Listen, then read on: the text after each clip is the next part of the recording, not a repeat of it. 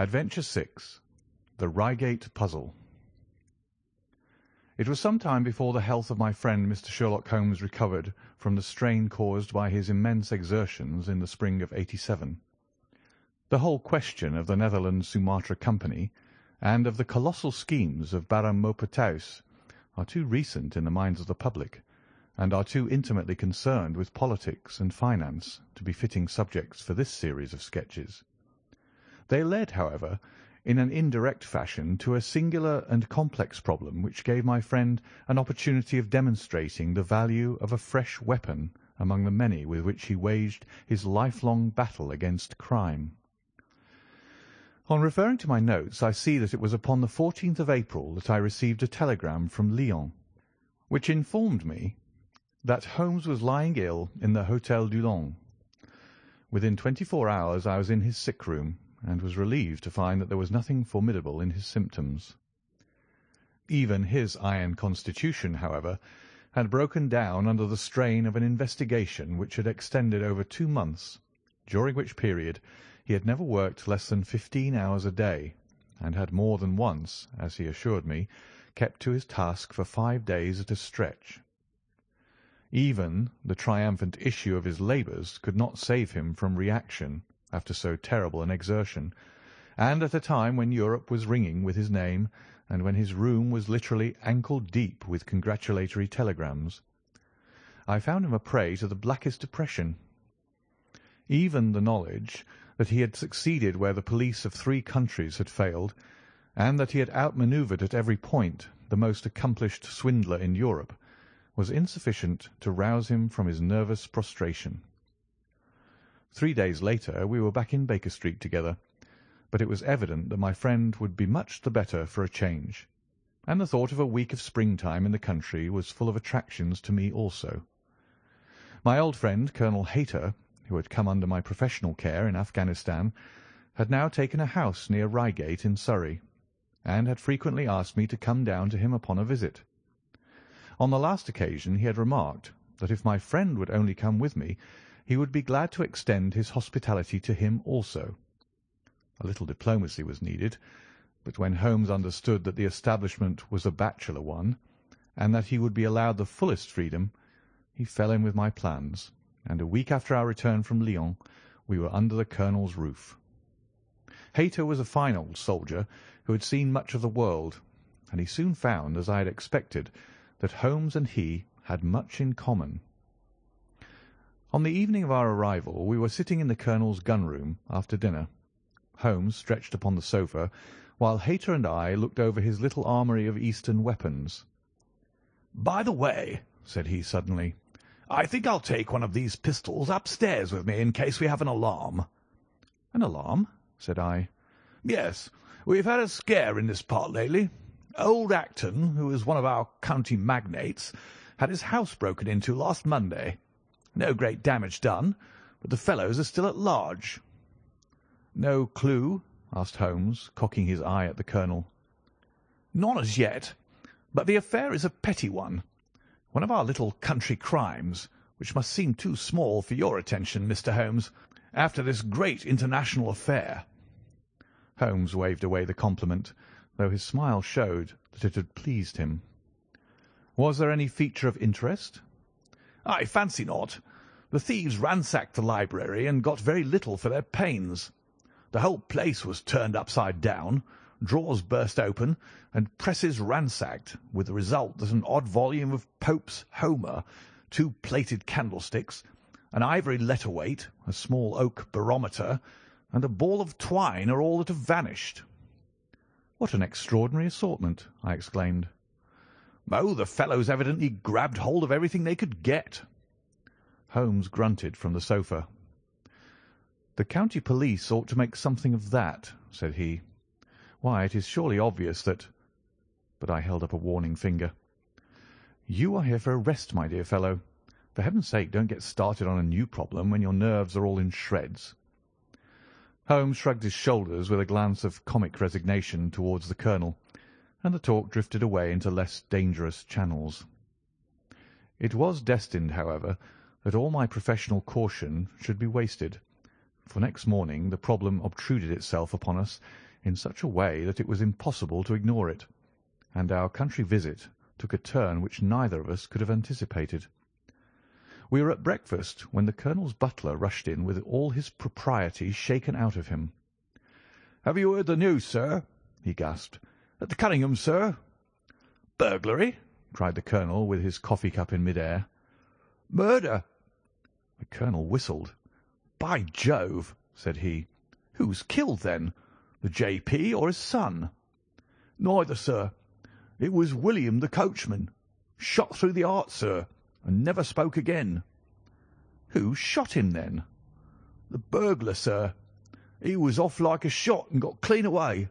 He just broke in at the pantry window when William came on him and met his end in saving his master's property." "What time?" "It was late last night, sir. Somewhere about twelve." "Ah, then, we'll step over afterwards," said the colonel, coolly settling down to his breakfast again. It's a baddish business," he added, when the butler had gone. "He's our leading man about here, is old Cunningham, and a very decent fellow, too. He'll be cut up over this, for the man has been in his service for years, and was a good servant. It's evidently the same villains who broke into Acton's." "And stole that very singular collection," said Holmes thoughtfully. "Precisely." "Hum. It may prove the simplest matter in the world, but all the same at first glance this is just a little curious, is it not? A gang of burglars acting in the country might be expected to vary the scene of their operations, and not to crack two cribs in the same district within a few days. When you spoke last night of taking precautions, I remember that it passed through my mind that this was probably the last parish in England to which the thief or thieves would be likely to turn their attention, which shows that I have still much to learn." "I fancy it's some local practitioner," said the colonel. "In that case, of course, Acton's and Cunningham's are just the places he would go for, since they are far the largest about here." "And richest?" "Well, they ought to be, but they've had a lawsuit for some years which has sucked the blood out of both of them, I fancy. Old Acton has some claim on half of Cunningham's estate, and the lawyers have been at it with both hands." "If it's a local villain, there should not be much difficulty in running him down," said Holmes with a yawn. "All right, Watson. I don't intend to meddle." "Inspector Forrester, sir," said the butler, throwing open the door. The official, a smart, keen-faced young fellow, stepped into the room. "Good morning, Colonel," said he. "I hope I don't intrude but we hear that Mr. Holmes of Baker Street is here." The colonel waved his hand towards my friend, and the inspector bowed. "We thought that perhaps you would care to step across, Mr. Holmes." "The fates are against you, Watson," said he, laughing. "We were chatting about the matter when you came in, Inspector. Perhaps you can let us have a few details." As he leaned back in his chair in the familiar attitude I knew that the case was hopeless. "We had no clue in the Acton affair. But here we have plenty to go on, and there's no doubt it is the same party in each case. The man was seen." "Ah!" "Yes, sir. But he was off like a deer after the shot that killed poor William Kirwan was fired. Mr. Cunningham saw him from the bedroom window, and Mr. Alec Cunningham saw him from the back passage. It was quarter to twelve when the alarm broke out. Mr. Cunningham had just got into bed, and Mr. Alec was smoking a pipe in his dressing gown. They both heard William, the coachman, calling for help, and Mr. Alec ran down to see what was the matter. The back door was open, and as he came to the foot of the stairs he saw two men wrestling together outside. One of them fired a shot. The other dropped, and the murderer rushed across the garden and over the hedge. Mr. Cunningham, looking out of his bedroom, saw the fellow as he gained the road, but lost sight of him at once. Mr. Alec stopped to see if he could help the dying man, and so the villain got clean away. Beyond the fact that he was a middle-sized man, and dressed in some dark stuff, we have no personal clue, but we're making energetic inquiries, and if he is a stranger we shall soon find him out." "What was this William doing there? Did he say anything before he died?" "Not a word. He lives at the lodge with his mother, and as he was a very faithful fellow, We imagine that he walked up to the house with the intention of seeing that all was right there. Of course, this Acton business has put everyone on their guard. The robber must have just burst open the door. The lock has been forced when William came upon him." "Did William say anything to his mother before going out?" "She is very old and deaf, and we can get no information from her. The shock has made her half witted, but I understand that she was never very bright. There is one very important circumstance, however. Look at this." He took a small piece of torn paper from a notebook and spread it out upon his knee. "This was found between the finger and thumb of the dead man. It appears to be a fragment torn from a larger sheet. You will observe that the hour mentioned upon it is the very time at which the poor fellow met his fate. You see that his murderer might have torn the rest of the sheet from him, or he might have taken this fragment from the murderer. It reads almost as though it were an appointment." Holmes took up the scrap of paper, a facsimile of which is here produced. D. At quarter to twelve learn what may be. "Presuming that is an appointment," continued the inspector, "it is of course a conceivable theory that this William Kirwan though he had the reputation of being an honest man, may have been in league with the thief. He may have met him there, may even have helped him to break in the door, and then they may have fallen out between themselves." "This writing is of extraordinary interest," said Holmes, who had been examining it with intense concentration. "These are much deeper waters than I had thought." He sank his head upon his hands while the inspector smiled at the effect which his case had had upon the famous London specialist. "Your last remark," said Holmes presently, "as to the possibility of there being an understanding between the burglar and the servant, and this being a note of appointment from one to the other, is an ingenious and not entirely impossible supposition. But this writing opens up—" He sank his head into his hands again, and remained for some minutes in the deepest thought. When he raised his face again, I was surprised to see that his cheek was tinged with colour, and his eyes as bright as before his illness. He sprang to his feet with all his old energy. "I'll tell you what," said he. "I should like to have a quiet little glance into the details of this case. There is something in it which fascinates me extremely. If you will permit me, Colonel, I will leave my friend Watson and you, and I will step around with the inspector to test the truth of one or two little fancies of mine. I will be with you again in half an hour." An hour and a half had elapsed before the inspector returned alone. "Mr. Holmes is walking up and down in the field outside," said he. "He wants us all four to go up to the house together." "To Mr. Cunningham's?" "Yes, sir." "What for?" The inspector shrugged his shoulders. "I don't quite know, sir. Between ourselves, I think Mr. Holmes had not quite got over his illness yet. He has been behaving very queerly, and is very much excited." "I don't think you need alarm yourself," said I. "I have usually found that there was method in his madness." "Some folks might say there was madness in his method," muttered the inspector. "But he's all on fire to start, Colonel, so we'd best go out if you're ready. We found Holmes pacing up and down in the field, his chin sunk upon his breast and his hands thrust into his trousers pockets. "The matter grows in interest," said he. "Watson, your country trip has been a distinct success. I have had a charming morning." "You've been up to the scene of the crime, I understand," said the colonel. "Yes. The inspector and I have made quite a little reconnaissance together." "Any success?" "Well, we've seen some very interesting things. I'll tell you what we did as we walk. First of all, we saw the body of this unfortunate man. He certainly died from a revolver wound, as reported." "Had you doubted it, then?" "Oh, it is as well to test everything. Our inspection was not wasted. We then had an interview with Mr. Cunningham and his son, who were able to point out the exact spot where the murderer had broken through the garden hedge in his flight. That was of great interest." "Naturally." Then we had a look at this poor fellow's mother. We could get no information from her, however, as she is very old and feeble." "And what is the result of your investigations?" The conviction that the crime is a very peculiar one. Perhaps our visit now may do something to make it less obscure.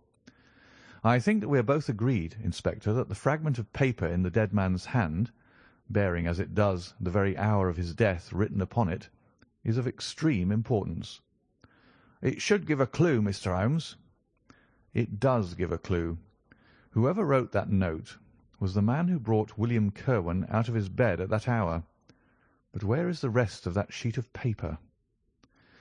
"I examined the ground carefully in the hope of finding it," said the inspector. "It was torn out of the dead man's hand. Why was someone so anxious to get possession of it? Because it incriminated him? And what would he do with it? Thrust it into his pocket, most likely, never noticing that a corner of it had been left in the grip of the corpse. If we could get the rest of that sheet it is obvious that we should have gone a long way towards solving the mystery." "Yes, but how can we get at the criminal's pocket before we catch the criminal?" "Well, well, it was worth thinking over. Then there is another obvious point. The note was sent to William.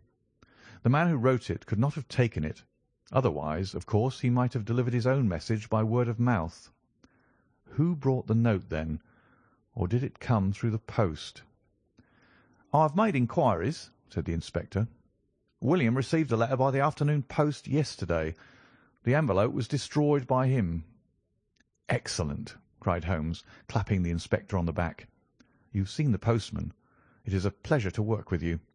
Well, here is the lodge, and if you will come up, Colonel, I will show you the scene of the crime."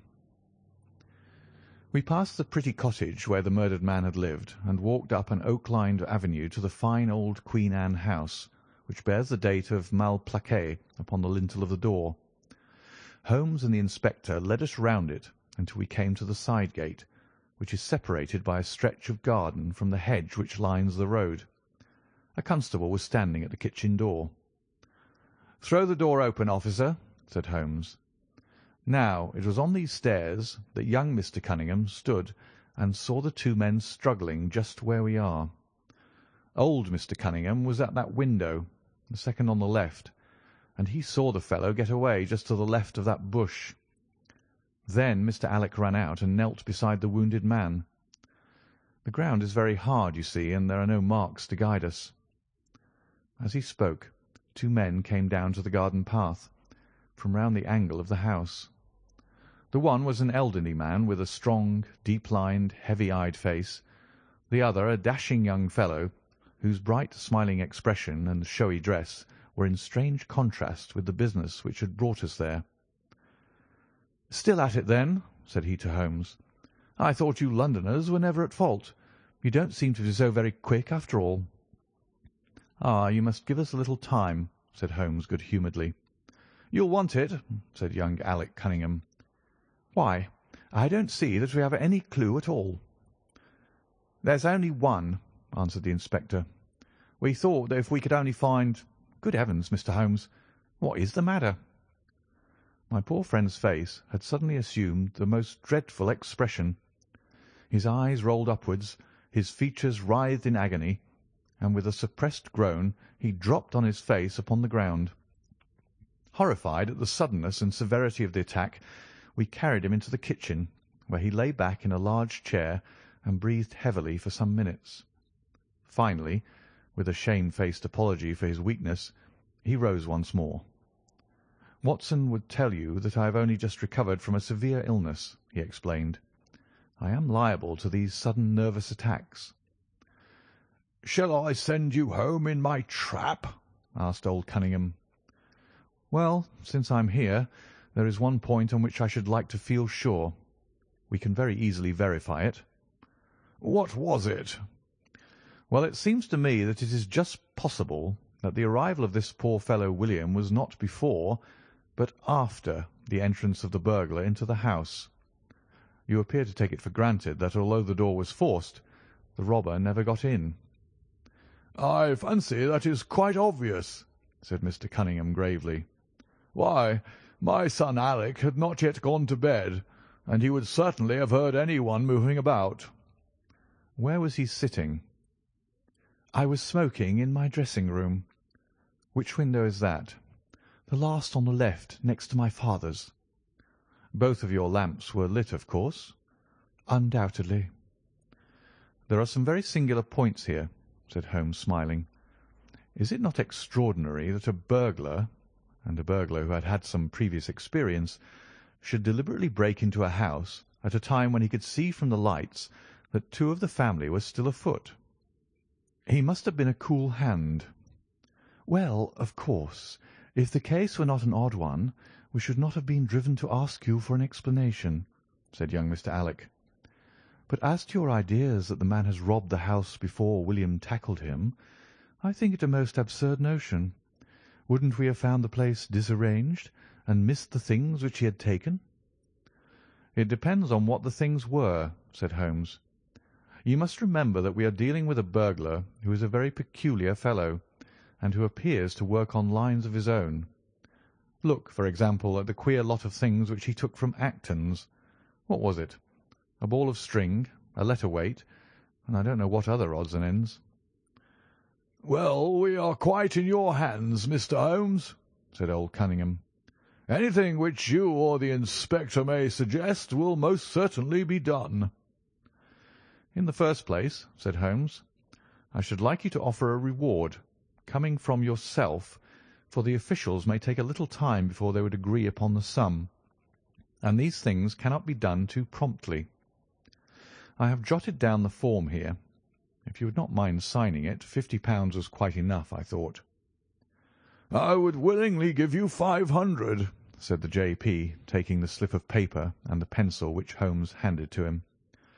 "This is not quite correct, however," he added, glancing over the document. I wrote it rather hurriedly.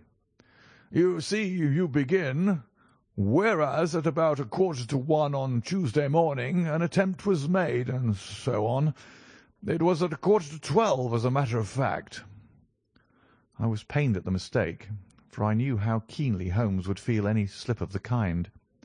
It was his speciality to be accurate as to fact, but his recent illness had shaken him, and this one little incident was enough to show me that he was still far from being himself. He was obviously embarrassed for an instant, while the inspector raised his eyebrows, and Alec Cunningham burst into a laugh. The old gentleman corrected the mistake, however, and handed the paper back to Holmes. "Get it printed as soon as possible," he said. "I think your idea is an excellent one." Holmes put the slip of paper carefully away into his pocket-book. "And now," said he, "it really would be a good thing that we should all go over the house together, and make certain that this rather erratic burglar did not, after all, carry anything away with him." Before entering, Holmes made an examination of the door which had been forced. It was evident that a chisel or strong knife had been thrust in and the lock forced back with it. We could see the marks in the wood where it had been pushed in. "You don't use bars, then?" he asked. "We have never found it necessary." "You don't keep a dog?" "Yes, but he is chained on the other side of the house." "When do your servants go to bed?" "About ten." "I understand that William was usually in bed also at that hour." "Yes." "It is singular that on this particular night he should have been up. Now I should be very glad if you would have the kindness to show us over the house, Mr. Cunningham. A stone flagged passage, with the kitchens branching away from it, led by a wooden staircase directly to the first floor of the house. It came out upon the landing opposite to a second, more ornamental stair, which came up from the front hall. Out of this landing opened the drawing-room and several bedrooms, including those of Mr. Cunningham and his son. Holmes walked slowly, taking keen note of the architecture of the house.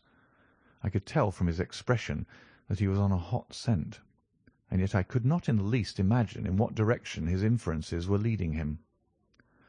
"My good sir," said Mr. Cunningham with some impatience, "this is surely very unnecessary. That is my room at the end of the stairs, and my son's is the one beyond it. I leave it to your judgment whether it was possible for the thief to have come up here without disturbing us. "You must try round and get on a fresh scent, I fancy," said the son with a rather malicious smile. Still, I must ask you to humour me a little further. I should like, for example, to see how far the windows of the bedrooms command the front. This, I understand, is your son's room." He pushed open the door. "And that, I presume, is the dressing-room in which he sat smoking when the alarm was given. Where does the window of that look out to?" He stepped across the bedroom, pushed open the door, and glanced around the other chamber. "I hope that you are satisfied now," said Mr. Cunningham tartly. "Thank you. I think I have seen all that I wished." "Then if it is really necessary we can go into my room." "If it is not too much trouble." The J.P. shrugged his shoulders and led the way into his own chamber, which was a plainly furnished and commonplace room. As we moved across it in the direction of the window, Holmes fell back until he and I were the last of the group. Near the foot of the bed stood a dish of oranges and a carafe of water. As we passed it, Holmes, to my unutterable astonishment, leaned over in front of me and deliberately knocked the whole thing over. The glass smashed into a thousand pieces, and the fruit rolled about into every corner of the room. "You've done it now, Watson," said he coolly. "A pretty mess you've made of the carpet." I stooped in some confusion and began to pick up the fruit understanding for some reason my companion desired me to take the blame upon myself. The others did the same, and set the table on its legs again. "Hullo!" cried the inspector. "Where's he got to?" Holmes had disappeared. "Wait here an instant," said young Alec Cunningham. "The fellow is off his head, in my opinion. Come with me, father, and see where he has got to." They rushed out of the room leaving the inspector, the colonel, and me staring at each other. Upon my word, I'm inclined to agree with Master Alec," said the official. "It may be the effect of his illness, but it seems to me that—" His words were cut short by a sudden scream of "Help! Help! Murder!" With a thrill I recognised the voice of that of my friend. I rushed madly from the room on to the landing. The cries, which had sunk down into a hoarse, inarticulate shouting, came from the room which we had first visited. I dashed in and on into the dressing-room beyond. The two Cunninghams were bending over the prostrate figure of Sherlock Holmes, the younger clutching his throat with both hands, while the elder seemed to be twisting one of his wrists. In an instant the three of us had torn them away from him, and Holmes staggered to his feet very pale and evidently greatly exhausted. "Arrest these men, Inspector," he gasped. "On what charge?" "That of murdering their coachman, William Kirwan." The inspector stared about him in bewilderment. "Oh, come now, Mr. Holmes," said he at last. "I'm sure you don't really mean to—" "Tut, man! Look at their faces!" Cried Holmes curtly. Never certainly have I seen a plainer confession of guilt upon human countenances. The older man seemed numbed and dazed, with a heavy, sullen expression upon his strongly marked face. The son, on the other hand, had dropped all that jaunty, dashing style which had characterized him, and the ferocity of a dangerous wild beast gleamed in his dark eyes and distorted his handsome features. The inspector said nothing, but stepping to the door he blew his whistle. Two of his constables came at the call. "I have no alternative, Mr. Cunningham," said he. "I trust that this may all prove to be an absurd mistake, but you can see that Ah, would you drop it!" He struck out with his hand, and a revolver which the younger man was in the act of cocking clattered down upon the floor. "Keep that," said Holmes quietly, putting his foot upon it. "You will find it useful at the trial. But this is what we really wanted. He held up a little crumpled piece of paper. "The remainder of the sheet!" cried the inspector. "Precisely." "And where was it?" "Where I was sure it must be. I'll make the whole matter clear to you presently. I think, Colonel, that you and Watson might return now, and I will be with you again in an hour at the furthest. The inspector and I must have a word with the prisoners, but you will certainly see me back at luncheon time. Sherlock Holmes was as good as his word, for about one o'clock he rejoined us in the colonel's smoking room. He was accompanied by a little elderly gentleman, who was introduced to me as the Mr. Acton whose house had been the scene of the original burglary. "I wish Mr. Acton to be present while I demonstrated this small matter to you," said Holmes, "for it is natural that he should take a keen interest in the details. I am afraid, my dear Colonel, that you must regret the hour that you took in such a stormy petrel as I am." "On the contrary," answered the colonel warmly. I consider it the greatest privilege to have been permitted to study your methods of working. I confess that they quite surpass my expectations, and that I am utterly unable to account for your result. I have not yet seen the vestige of a clue." "I am afraid that my explanation may disillusion you, but it has always been my habit to hide none of my methods, either from my friend Watson or from anyone who might take an intelligent interest in them. But first, as I am rather shaken by the knocking about which I had in the dressing-room, I think that I shall help myself to a dash of your brandy, Colonel. My strength had been rather tried of late." "I trust that you had no more of those nervous attacks?" Sherlock Holmes laughed heartily. "We will come to that in its turn," said he. "I will lay an account of the case before you in its due order, showing you the various points which guided me in my decision. Pray interrupt me if there is any inference which is not perfectly clear to you. It is of the highest importance in the art of detection to be able to recognise, out of a number of facts, which are incidental and which vital. Otherwise your energy and attention must be dissipated instead of being concentrated. Now, in this case, there was not the slightest doubt in my mind from the first that the key of the whole matter must be looked for in the scrap of paper in the dead man's hand. Before going into this, I would draw your attention to the fact that, if Alec Cunningham's narrative was correct, and if the assailant, after shooting William Kirwan, had instantly fled, then it obviously could not be he who tore the paper from the dead man's hand. But if it was not he, it must have been Alec Cunningham himself, for by the time that the old man had descended, several servants were upon the scene. The point is a simple one but the inspector had overlooked it because he had started with the supposition that these county magnates had had nothing to do with the matter. Now, I make a point of never having any prejudices, and of following docilely wherever fact may lead me. And so, in the very first stage of the investigation, I found myself looking a little askance at the part which had been played by Mr. Alec Cunningham. And now I made a very careful examination of the corner of paper which the inspector had submitted to us. It was at once clear to me that it formed part of a very remarkable document. Here it is. Do you not now observe something very suggestive about it?" "It has a very irregular look," said the colonel. "My dear sir," cried Holmes, "there cannot be the least doubt in the world that it has been written by two persons doing alternate words. When I draw your attention to the strong T's of at and to and ask you to compare them with the weak ones of quarter and twelve, you will instantly recognise the fact. A very brief analysis of these four words would enable you to say with the utmost confidence that the learn and the maybe are written in the stronger hand, and that the what in the weaker." "By Jove, it's as clear as day!" cried the colonel. "Why on earth should two men write a letter in such a fashion?" Obviously the business was a bad one, and one of the men who distrusted the other was determined that whatever was done, each should have an equal hand in it.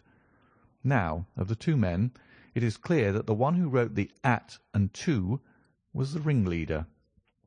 "How do you get at that?" "We might deduce it from the mere character of the one hand as compared with the other, but we have more assured reasons than that for supposing it. If you examine this scrap with attention, you will come to the conclusion that the man with the stronger hand wrote all his words first, leaving blanks for the other to fill up. These blanks were not always sufficient, and you can see that the second man had a squeeze to fit his quarter in between the at and the to, showing that the latter was already written. The man who wrote all his words first is undoubtedly the man who planned the affair." "Excellent!" cried Mr. Acton. "But very superficial," said Holmes. "We come now, however, to a point which is of importance. You may not be aware that the deduction of a man's age from his writing is one which has been brought to considerable accuracy by experts. In normal cases one can place a man in his true decade with tolerable confidence. I say normal cases, because ill health and physical weakness reproduce the signs of old age, even when the invalid is a youth. In this case, looking at the bold, strong hand of the one, and the rather broken-backed appearance of the other, which still retains its legibility although the t's have begun to lose their crossing, we can say that the one was a young man and the other was advanced in years without being positively decrepit. "Excellent!" cried Mr. Acton again. There is a further point, however, which is subtler and of greater interest. There is something in common between these hands. They belong to men who are blood relatives. It may be most obvious to you in the Greek e's, but to me there are many small points which indicate the same thing. I have no doubt at all that a family mannerism can be traced in these two specimens of writing. I am only, of course, giving you the leading results now of my examination of the paper. There were twenty-three other deductions which would be of more interest to experts than to you. They all tend to deepen the impression upon my mind that the Cunninghams, father and son, had written this letter. Having got so far, my next step was, of course, to examine into the details of the crime, and to see how far they would help us. I went up to the house with the inspector, and saw all that was to be seen. The wound upon the dead man was, as I was able to determine with absolute confidence, fired from a revolver at the distance of something over four yards. There was no powder blackening on the clothes. Evidently, therefore, Alec Cunningham had lied when he said that the two men were struggling when the shot was fired.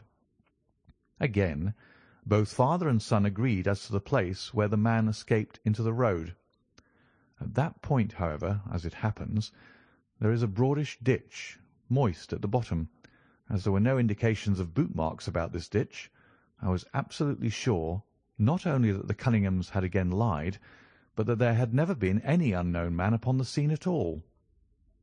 And now I have to consider the motive of this singular crime. To get at this, I endeavoured first of all to solve the reason of the original burglary at Mr. Acton's. I understood from something which the colonel told us that a lawsuit had been going on between you, Mr. Acton, and the Cunninghams. Of course, it instantly occurred to me that they had broken into your library with the intention of getting at some document which might be of importance in the case. "Precisely so," said Mr. Acton. "There can be no possible doubt as to their intentions. I have the clearest claim upon half of their present estate, and if they could have found a single paper, which fortunately was in the strong box of my solicitors, they would undoubtedly have crippled our case." "There you are," said Holmes, smiling. It was a dangerous, reckless attempt, in which I seemed to trace the influence of young Alec.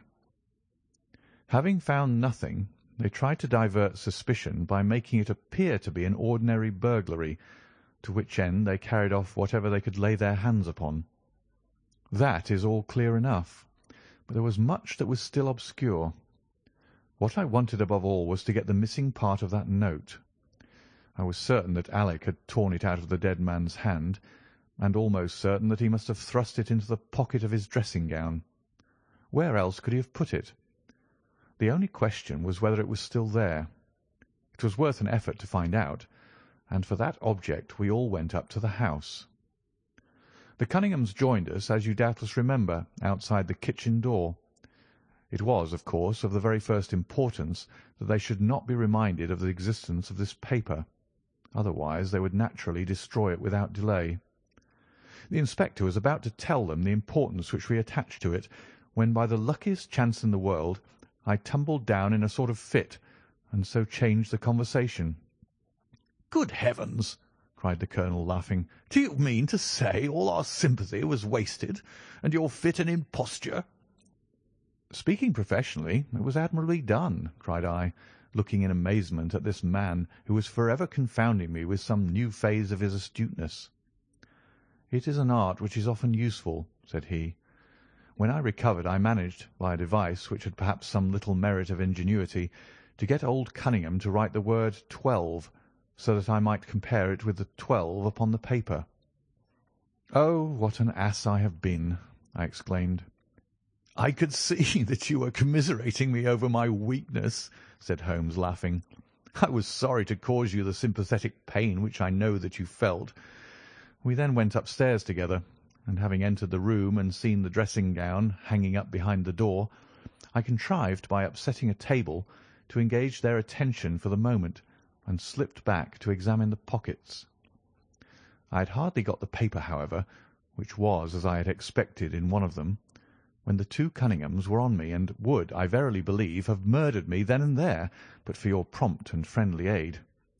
As it is, I feel that young man's grip on my throat now, and the father has twisted my wrist round in the effort to get the paper out of my hand. They saw that I must know all about it, you see, and the sudden change from absolute security to complete despair made them perfectly desperate. I had a little talk with old Cunningham afterwards as to the motive of the crime. He was tractable enough, though his son was a perfect demon, ready to blow out his own or anybody else's brains if he could have got to his revolver. When Cunningham saw that the case against him was so strong he lost all heart, and made a clean breast of everything. It seems that William had secretly followed his two masters on the night when they made their raid upon Mr. Acton's, and having thus got them into his power, proceeded under threats of exposure to levy blackmail upon them. Mr. Alec, however, was a dangerous man to play games of that sort with. It was a stroke of positive genius on his part to see in the burglary scare which was convulsing the countryside an opportunity of plausibly getting rid of the man whom he feared. William was decoyed up and shot, and had they only got the whole of the note, and paid a little more attention to detail in the accessories, it is very possible that suspicion might never have been aroused. "And the note?" I asked. Sherlock Holmes placed the subjoined paper before us. "If you will only come around to the east gate it will very much surprise you and be of the greatest service to you and also to Annie Morrison, but say nothing to anyone upon the matter." "It is very much the sort of thing that I expected," said he. "Of course, we do not yet know what the relations may have been between Alec Cunningham, William Kirwan, and Annie Morrison. The result shows that the trap was skilfully baited. I am sure that you cannot fail to be delighted with the traces of heredity shown in the P's and in the tails of the G's. The absence of the i dots in the old man's writing is also more characteristic. Watson, I think our quiet rest in the country has been a distinct success, and I shall certainly return much invigorated to Baker Street to morrow. End of the Reigate Puzzle